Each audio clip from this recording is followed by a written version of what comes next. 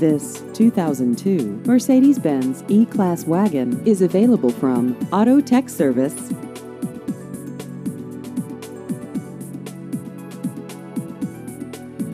This vehicle has just over 30,000 miles.